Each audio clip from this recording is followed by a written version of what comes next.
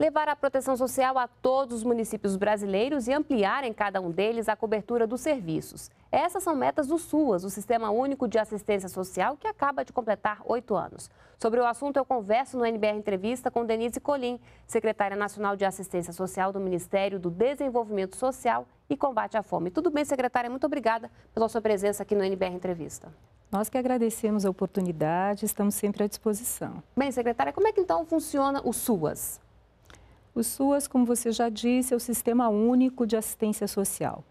Ele foi implantado a partir de uma deliberação da Quarta Conferência Nacional de Assistência Social, é, em 2005, e ele organiza a prestação das atenções da política de assistência social, que é dedicada, desde a Constituição, reconhecida como uma política pública e dedicada para atender população em situações de vulnerabilidade e risco.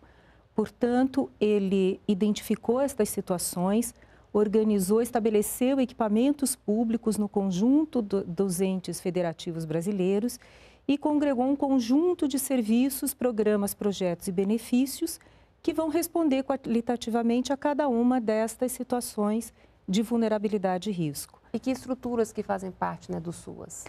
É, nós temos hoje quase 10 mil equipamentos públicos. Né? Então, ele dividiu as vulnerabilidades e elencou um, conjunto de proteção social básica, é, que são ofertados nos centros de referência de assistência social, os CRAS, e que praticamente atuam com famílias é, que têm uma dificuldade socioeconômica mas, ou têm dificuldade de acesso a bens, serviços e riquezas ou estão expostas a, a alguma discriminação ou a ruptura da convivência com a comunidade. É a porta de entrada, então, para o Sistema Único de Acesso Social, Exatamente. Eles estão, hoje, nós temos apenas 148 municípios que não possuem esses equipamentos. Já foi ofertado essa expansão para esses municípios, agora em julho. Eles têm até o final de agosto para fazer o aceite, até o dia 23. E a nossa meta é atingir esses, nós teremos hoje em torno de 8 mil equipamentos públicos é, de CRAS, porque dependendo do tamanho do município, do número de famílias a ser atendidas, né, é, tem mais de um. É, e elas prestam um conjunto de serviços, o principal deles é o Programa de Atenção Integral às Famílias, que estão em vulnerabilidade, e as equipes técnicas compostas por psicólogos, assistentes sociais, principalmente, mas também pedagogos, sociólogos, né, advogados, administradores, é, fazem um plano individualizado de acompanhamento né, e constroem, reconstroem os projetos de vida com essas famílias, é, também viabilizando acesso a outras políticas públicas. Bom, quando a gente fala em vulnerabilidade, né, quais são os principais problemas, as principais queixas, o que essas pessoas levam né, quando elas procuram o CRAS, por exemplo? É, a grande parte delas procura porque é a área da assistência social, em quase a totalidade também dos municípios, 98% já, que faz a gestão do programa Bolsa Família, a inscrição no cadastro único. Então, algumas vão para fazer inscrição no cadastro, não só para acessar a transferência de renda do Bolsa Família, mas para acessar outras políticas sociais federais, como acesso à Minha Casa Minha Vida, financiamentos e tal. De, deste cadastro, as equipes fazem uma análise né, das situações dessas famílias e é, propõem este acompanhamento se percebem que, para além da dificuldade né, da renda, elas também não acessam outros serviços como escola, saúde, habitação, saneamento, ou elas estão com dificuldade de relações familiares, de garantir a capacidade protetiva dos seus respectivos membros. Então, essa é a principal função. Normalmente, as famílias não chegam com esta demanda direta, né?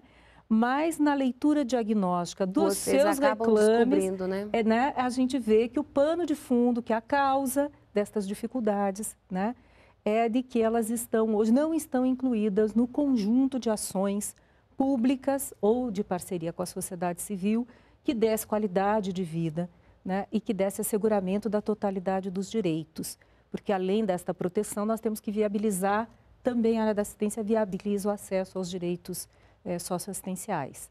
Né? Então, além do CRAS, tem agora também os, os, CREAS, não é isso? Então, além do CRAS, que trata destas questões, no CRAS também são ofertados serviços de convivência e fortalecimento de vínculos por grupos geracionais ou intergeracionais, atendimento à pessoa com deficiência idoso nas suas residências, né? E também essa articulação da rede prestadoras de serviços em cada uma das localidades. Aí nós temos um outro equipamento que se chama Centro de Referência Especializado de Assistência Social. Esse, é, eles estão, até o final do ano também, nós estamos atingindo a meta de ter no mínimo um para todos os municípios acima de 20 mil habitantes, nos menores, desde que tenha uma, uma necessidade né, comprovada, eles também podem se reunir em grupos de municípios para prestar o atendimento, porque é de maior complexidade, eu já vou mencionar a razão, ou pode ser ofertado pelo próprio Estado. Tá?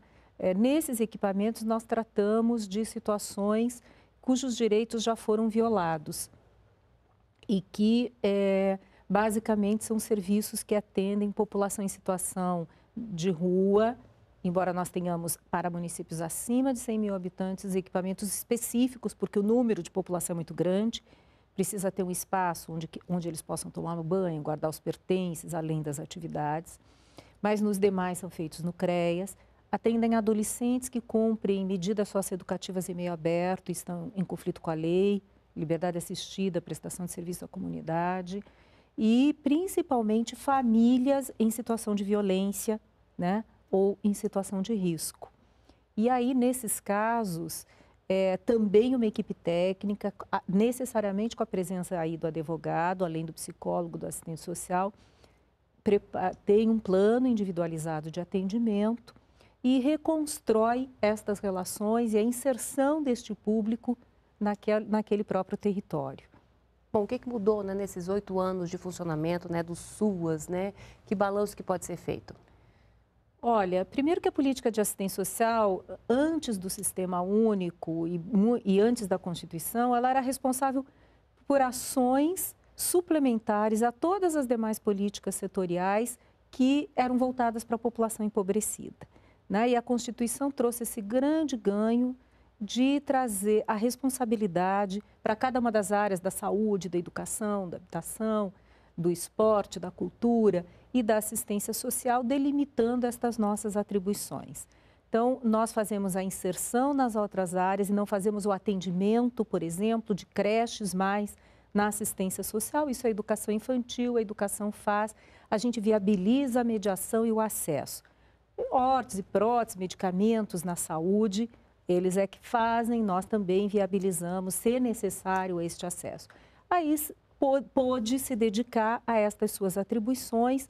E existe uma outra ação também, que é a de acolhimento de pessoas que romperam os vínculos familiares. Mulheres em situação de violência, pessoas com deficiência, idosos, crianças e adolescentes, né? e que também são acolhidas é, nos espaços governamentais ou não, gerenciados pela assistência social. Mas a grande coisa que mudou, além das atribuições, foi respeitar todos os elementos constitutivos de uma política pública. Ter as especificidades detalhadas e reconhecidas nacionalmente, ser um sistema unificado em que em qualquer lugar do país você sabe o que é esse serviço de atenção à família, o de acolhimento nas unidades. Padronizado, né? né? Padronizado. Então, ele tem uma infraestrutura exigida, profissionais vinculados, carga horária de funcionamento, ações desenvolvidas, metodologia. Tem sistemas de informação para registro, para padronização dos prontuários. E o mais importante também é que, mensalmente, esses pactos são reafirmados com um conjunto dos 5.570 municípios, com representações por porte, por número de habitantes e regiões do país com 26 estados e Distrito Federal, também representações por região do país, em que se definem tanto a implantação de novos serviços, as expansões, os reordenamentos necessários e se definem os critérios de partilha de recurso, de forma republicana, de forma democrática, com indicadores homogêneos para todos eles, né? tirando o clientelismo, o assistencialismo, né? e dando segurança para que a população saiba que ao buscar esta política, né, ela pode contar com um conjunto de ações que vai garantir sua proteção que vai garantir seus direitos. Em média, quantas famílias né, são atendidas por ano? Vocês têm esse acompanhamento? Vocês Nós fazem esse temos um registro mensal de acompanhamento dos CRAS e dos CREAS, estamos ampliando para os outros equipamentos. Normalmente, nós temos em torno de 600 mil famílias nos CREAS e 2 milhões de famílias novas sendo incorporadas, porque um atendimento pode variar de alguns meses até um ano, mais de um ano, né? sendo incorporadas 2 milhões de famílias nos CRAS, em torno de 600 mil famílias nos CREAS. Qual é o investimento do governo federal no Sistema Único de Assistência Social? Atualmente, o nosso orçamento de 2013 no Fundo Nacional de Assistência Social, essa é uma outra mudança também. Uma vez implantado o serviço, o município recebe, ou o Estado, diretamente do Fundo Nacional, nos seus respectivos fundos, nas, estaduais ou municipais, até o dia 10 do mês subsequente, né, um valor de referência para aquela prestação, é, que são esses critérios pactuados de partilha que a gente já mencionou. E hoje o nosso orçamento neste fundo é de 36 bilhões e meio de reais. É bom lembrar que em 2002 eram 6 bilhões, né? e com a implantação do SUAS isso veio é, sendo ampliado gradualmente. E no MDS nós temos hoje 61 bilhões e meio de reais para as outras políticas também. Bom, a gente falou um pouquinho do papel do governo federal e qual é o papel dos estados e municípios no Sistema Único de Assistência Social? É, os estados eles prestam assessoria técnica, são responsáveis pela capacitação das equipes, pela oferta desses serviços de maior complexidade e se eles não executam diretamente, eles devem cofinanciar estas ações nos respectivos municípios. E a proteção básica, ela é executada essencialmente pelos municípios, então todas as prestações ocorrem na ponta aonde exatamente a população está. E o que, é que vem sendo feito para poder universalizar, ampliar esse sistema e universalizar o serviço? Além destas pactuações, nós fazemos sempre a leitura diagnóstica do cadastro único, do censo do IBGE, das outras bases de dados do governo federal. É, fazemos essas pactuações recepcionamos as demandas dos próprios municípios também. É, e depois preparamos cadernos de orientação para qualificar estas ofertas e a criação de novos serviços, que eu acho que é uma coisa também muito importante, porque cada vez que você identifica uma situação nova, como, por exemplo, atendimento a pessoas com deficiência pelo Plano Viver Sem Limite. Então, a implantação de centros-dia, em que as pessoas com um nível de dependência que ainda podem né, se locomover e aceitar esses serviços, é, estariam recebendo atenção é, compartilhada da política de assistência social com a política de saúde, né, para, esta, para esta sua, seu atendimento. Eles podem ficar algumas horas do dia, podem ser todos os dias da semana, alguns dias da semana. Outras situações também são equipes de abordagem social para o plano do CRAC. Então, a equipe de assistência social, junto com as equipes do consultório na rua, fazendo essa abordagem e trazendo para atenção nos seus serviços. Uma outra são equipes volantes para busca ativa e oferta dos serviços em territórios isolados, comunidades rurais, ribeirinhas, quilombolas, indígenas. É, equipe, as equipes vão até esses espaços. Um, uma outra novidade são a doação de lanchas para a região da Amazônia Legal e do Pantanal. Onde só se chega pelo rio, né? Onde só se chega pelo rio.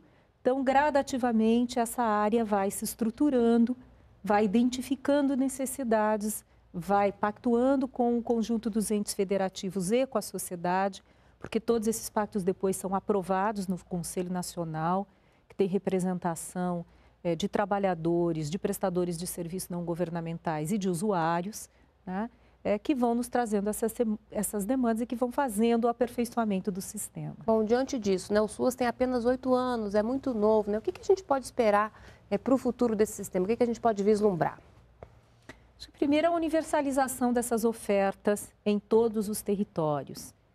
Em segundo plano, uma universalização que corresponda à demanda com a realização e a execução dos serviços. Melhoria da qualidade, a profissionalização. Nós partimos de uma área que era feita por voluntários para uma área que agora tem em torno de 500 mil trabalhadores, né? 300 mil nas entidades privadas, 200 mil no poder público é, e que tem uma política nacional de educação e capacitação permanente, com módulos continuados de formação, com protocolos de atendimento firmados com as categorias profissionais, com os conselhos regionais das categorias profissionais, mas basicamente nós precisamos realmente conseguir interpretar a necessidade da população, ofertar serviços e fazer com a melhor qualidade possível. Acho que esse é o nosso grande desafio. Tá certo, secretária. Muito obrigada pela sua participação aqui no NBR Entrevista. Eu é que agradeço e, novamente, a área está absolutamente à disposição para os maiores esclarecimentos e para que chegue exatamente o atendimento que o povo necessita. Obrigada mais uma vez. Bem, outras informações na página do MDS. E para rever essa entrevista, é só acessar o endereço que aparece agora aí na sua tela. Muito obrigada pela companhia. Continue sempre com a gente aqui na NBR, a TV do Governo Federal.